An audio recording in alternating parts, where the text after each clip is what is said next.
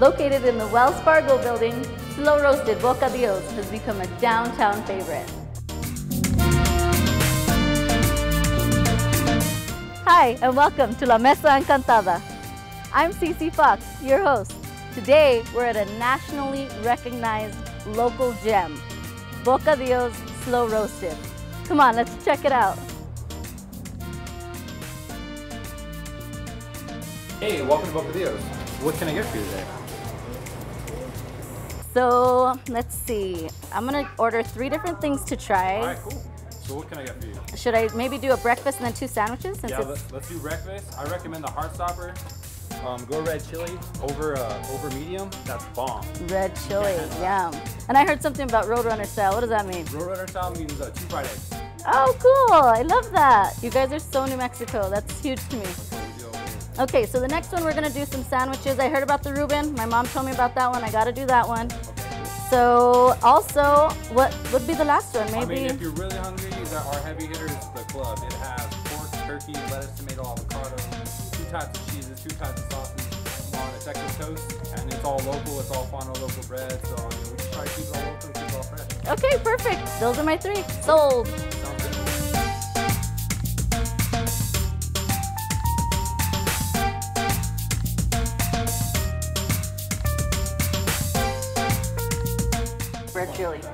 That is salt. You always do it to taste, you know what I mean? mean? 'Cause Everybody has different flavors. And a little bit of dried oregano. That's what gives it that punch, I think. And granulated garlic. You could also, my auntie actually puts uh, fresh garlic in the blender. She, she uh, blends up all the chili. So Oh, so it's already Yeah. integrated. so Oh, basically what you do is you get this, you put it on the heat, and if you want to thicken it, you can thicken it with the roux. I thicken mine with cornstarch because you have a lot of gluten-free people, mm-hmm. and it makes it for everybody to be able to eat. Awesome. And then not only that, but I see you just kind of, Oh, you I- know, hey, I- I you know, I that's the real, real. I look to see, you know, how much chili we have in there, how much we gotta make, and then so, how big is red and green chili to you? Oh my God, that's my life. I could literally, I could probably eat red chili every day of my life. You're like, is this a trick I have- question? I have no problem eating red chili every day. Oh, look My- at that color. It's beautiful. My all-time favorite is actually my mom with a little bit of carnitas in it. Oh, there you go. So she does the red chili, of course. Sometimes potatoes, sometimes not. When we were little, it was a lot of potatoes it. Yeah. Cold, but check it out. And after you cook it, more of the flavors going to come up. Mm, Has that good heat, so good. has that sweet heat, Mm-hmm. everything I need. Very good. Perfect. Boom. So you are from New Mexico. Yes. Where where exactly are you from? I'm born and raised New Mexican. I was born here in Albuquerque, and my family is from Hurley, New Mexico, down south, Grant County, by Silver City. Nobody knows. If you blinked, you'd miss it if you went by. It's an old uh, mining town. Uh, they mine uh, cobre, copper. So my whole family, they worked in the mines. Uh, my mom worked in the mine. My grandpa retired. My uncles, my tia, everybody's retired from the mines. So A lot of my family worked in the mines that's too. it. I mean, that's all we know how to do is work, and that's what I was taught my whole life. You gotta work to get where you're gonna go and do what you think. So, Hurley, New Mexico made it happen for me um, to teach that part of it. Um, we moved up here in Albuquerque, good old Duke City. Moved up here um, when I was about nine years old. Wow. And she's been cooking since she was about 12. Yeah, probably before that, but like I got in the kitchen when I was 12, like to actually get paid for it. But my mom, she was a single mom of four until we met my dad and uh, moved up to Albuquerque. So we used to have to fend for ourselves. My mom was in Right. the mine working day shifts, night shifts, graveyard Yeah. shifts. So it was four kids. We had to make we had to make do. We Right. had to make, make it happen for each other. And then now you have your own restaurant. There was a lot of things that happened before that, like you had a stroke, right? Yep. I was actually working here because I've been in the kitchen my whole life, but I was actually working in this building when this happened. I was actually on a camping Oh, this trip. building? Yeah, I was in this kitchen right here. Um, I was camping with my family in uh, Arizona, and I don't know, I just something happened. I don't know what happened, but I drove myself back, and I got back, went to the doctor the next day, and they told me I had a mild stroke. Oh my goodness. So, you know, things happen. I was 32, uh, but it gave me the drive. It made me the drive to push myself. Say, okay, you're gonna die for your for your what you love to do. You gotta die for your family, not for everybody dreams. Right. And I mean, uh, like we had talked about it, I mean, if that wouldn't have happened, you know, a lot of other things wouldn't happen. So sometimes, you know, setback is just getting you ready Well, for a all- great comeback, right? It's, it's all fate. You Right. Know, you don't know what is happening. And, sometimes things happen that don't make you so happy, but you're not realizing that was a good thing that happened to you. Mm-hmm. You know what I mean? Part of your story, you it's, know? it's a good thing that happened to you, and it's a good thing that you survived something. Doesn't matter what journey it is, Mm-hmm. but you survived it and you can keep moving on. Yeah. And that's what it's about. You It- know, you got to push yourself. And New Mexicans, that's all we know how to do. Yeah, I mean, It's about survival. I think if Right. anything went down in the whole entire world, we would be okay. yeah, we know how to like Mhm. do everything, know how to right? Our families know, know how to. We know how to fish. you know? Right, and it's special to us. It's not just something that, you know, it's like a way of survival. You're right, you know? So your first restaurant was where at? It was actually in the South Valley. I uh, started working out of a place called the Economic Development Center. Um, I started catering uh, because I for before that I was selling burritos out of the back of my car because I didn't know how, what else to do and I'm like classically French trained. All these Wow. All Ooh la la. My mom, my mom told me, Mija, why don't you just go make burritos and see what happens? I said, Mom, I can't walk up to a burrito place. I mean, to somewhere to sell burritos to a. I was all look at me. I said, I'm not gonna walk up and the, you know, all the guys want to say, Hey, let me eat your burrito. that wasn't gonna happen. you But what I now mean? it's like, hey, what's up? I have more. I have more man crushes on me than I don't even Ah, know. see? but but that's the way it happened. And so South Valley, just we started uh, catering, and within two weeks of working there, they asked us to go into uh, work the little sandwich shop that that was in there. Wow. And it was more cold cut. I couldn't cook the way I wanted to because you had to pay by the hour, so it was a little expensive. But Yeah. You know, and then we started feeding kids. I started feeding 50 kids. My daughter's school called me and asked me to play, uh, serve 50 kids breakfast, and I thought, dang, that'll save, that'll pay my rent. Man, but matter yes, how many can only feed one or two kids in the morning? You know, 50 kids. I Jeez. fed 50, 50 for that six months, and in three more months, I fed 500. Wow. And then a year after that, a thousand. A year after that, 1,250 kids. Breakfast and lunch every day Wow, that's amazing. from scratch. And I Wow. fed for seven years. I fed kids. Yes, and from scratch. See, that's what I think is amazing too. She's like local. She cooks from scratch. She gets a lot of things from like the The local. local- yeah, when when season, bakeries when, yeah, and- bakeries when the season's in, I get my um, I get all my tomatoes, and you know when the se- tomato season's in, that's my Yeah. favorite season.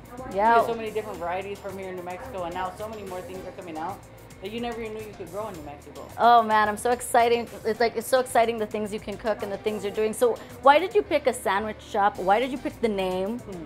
Because I love anything between two pieces of bread. um, I love sandwiches. I love burritos, and bocadillos in Spanish means small bites, like a small sandwich. oh, cool. Right? So when I saw bocadillos, I was like, dude, that's that's that's what the name is. Yeah. And then you throw slow roasted in front of it. Yum. Then you know what kind of sandwich you're getting. Right. It's not cold cuts. We don't have bologna, which I love bologna. I use that at my own house. But, uh, you know, you, you wanted something that's going to be meaty and something good. You know, if you look at New York style delis, stuff like that, LA, these places, you know, you can't get a sandwich unless you go there. Right. Otherwise, you go to Subways, and we ain't no Subway. Right, right. I mean, we like quality out here in New Mexico.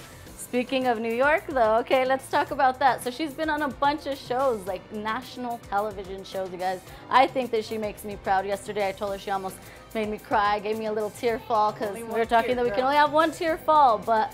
Um, she makes me really, really proud myself, and I know she makes a lot of you guys proud. I mean, you guys messaged me and told me that you love her, and everybody that comes in here says that they love her. So don't be afraid to come in here and meet her because she's always so uh, grateful that you guys are here and just so happy that you guys recognize a local celebrity. No? Oh, but New York. So tell us about New York. You got to stay a little longer, Yeah, and it was got- your first time I out there. To go to New York for the first time. Otherwise, I would have never gone there. Um, I wanted to go, but that's like you know that's a hard dream. But I got to go to New York to be on the Food Network and uh, do chops. So I went out there to do chops, and I ended up coming out with the win. And that was, Yeah, New Mexico. that was, that was crazy. You know, I couldn't. I it still sometimes makes me you know wrap my head around it. Like what did what just happened? Mm-hmm. And I couldn't understand until my dad explained it to me. He says, you know, Mija, you went out there to go have a good time. He says it's like when we go hunting. He says we go and we have a great time. But if we get something, that's just a bonus. Yeah. "Mija, you just got something. yes. So it just made it a bonus because otherwise it would have been the time of your life. No. No matter what, win, lose, or draw. I'm not, you know, it's not about winning for me. It's about experience. Yeah, and I mean, I want to say thank you, like not just for me, but any other loyal New Mexicans out there that watched you and was just like, yes. And not only is she winning, but she's representing, representing New Mexico. Like, come on, you know, there's those people who, you know, make it and those people who make it and represent. And I'm one of those people, and I'm so glad that you're one of those people. And so I'm glad to eat here today. Right on, let's do it. I'm gonna make you some food. So red and green chili are a huge staple over here, and they're gonna show us exactly how to make the red. It's right. beautiful. So this is, I was gonna say normal. New Mexicans make their red chili. We do it like grandma taught us. We do it like my mama taught us. This is the only way we know how to do it. So basically, we get our red chili. I actually drive to Hatch to go get my chili. Awesome. sure It's whatever I want. Um, so what we do is we soak it. Uh, we soak it overnight, and then the next morning we boil it up just a little bit. Um, get it all strained down. My mom uses one of those for her jelly. This is the best thing ever. My Yes. mom, my mom finds me these at the yard sales because you know they're That's so the expensive. or that's the only place you can find them Yeah, they're so expensive. So what we do is we strain it off. Oh my goodness, that color looks so beautiful. That's what you want. And, Yes. You know, and that- I just you know learned that the difference is like uh, these chilies, they're real light colored, and the reason that they're real light colored and the reason the chili's so light colored, almost orange, is because it was sun dried. Oh, okay. So if you get the darker chilies, those were oven dried, and your chili comes out super super dark. Oh, what a difference. I never knew that. You learn something new every Yeah. day. So basically, we strain it off. Mmm, that looks so delicious. I add just because this is my mom. So this is James, the owner's nephew, and he's going to show us the burrito that we'll be making. What's the burrito? The name of the burrito? Heartstopper. So it has chorizo, sausage, and bacon in it, and two over medium eggs. Okay, awesome. That sounds delicious. Look at all these ingredients. It looks amazing.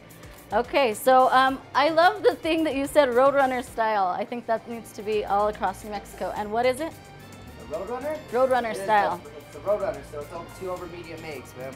Over two over medium eggs. I love it. And so that that's your logo too, right? Yep. Yeah, the Roadrunner.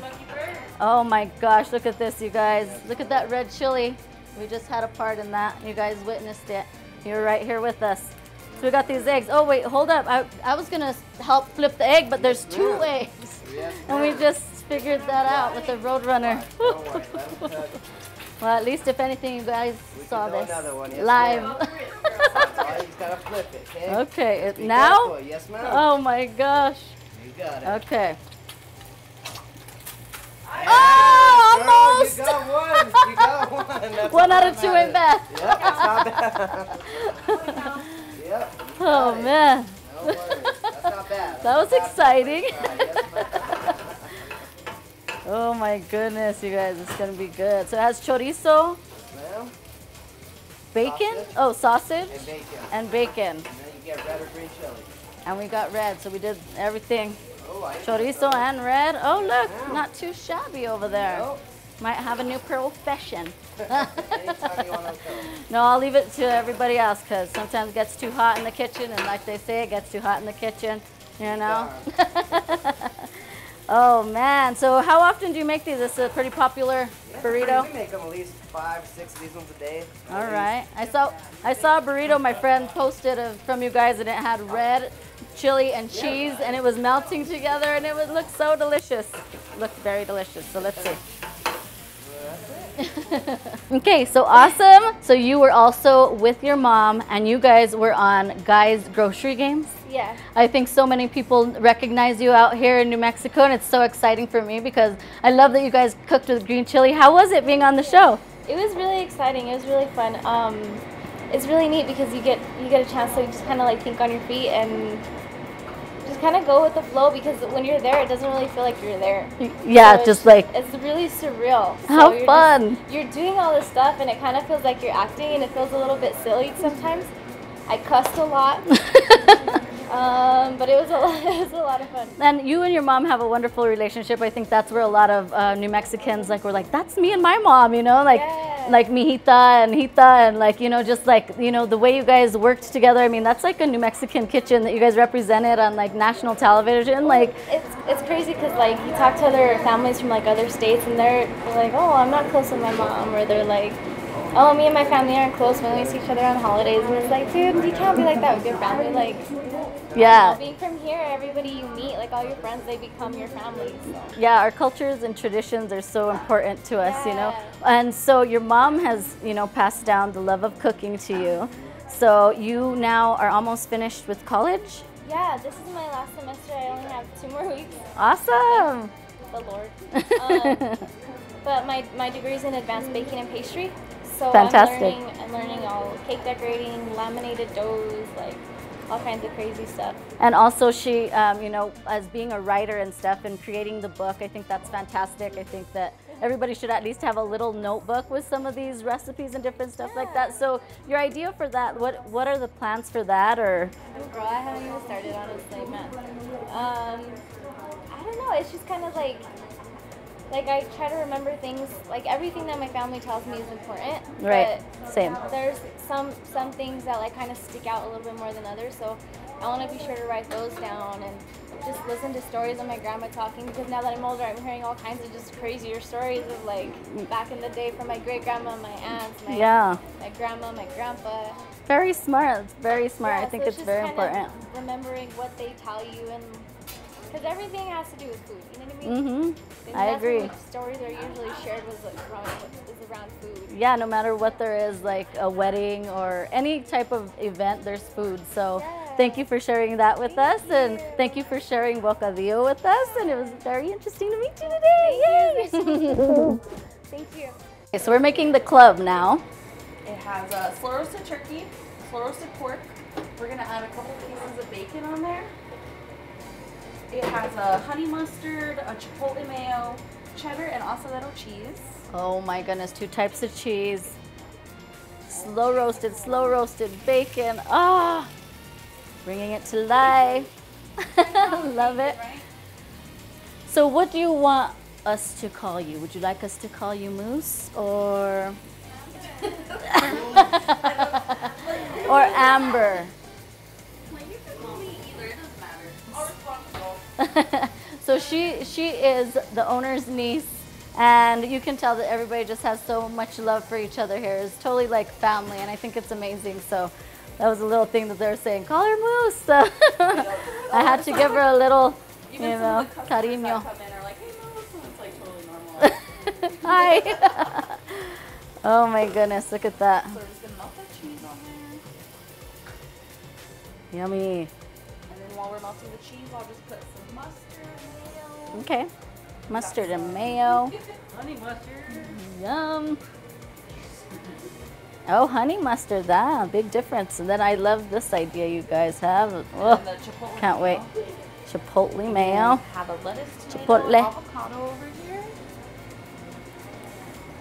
Yum. All together, all the flavors you can. Oh,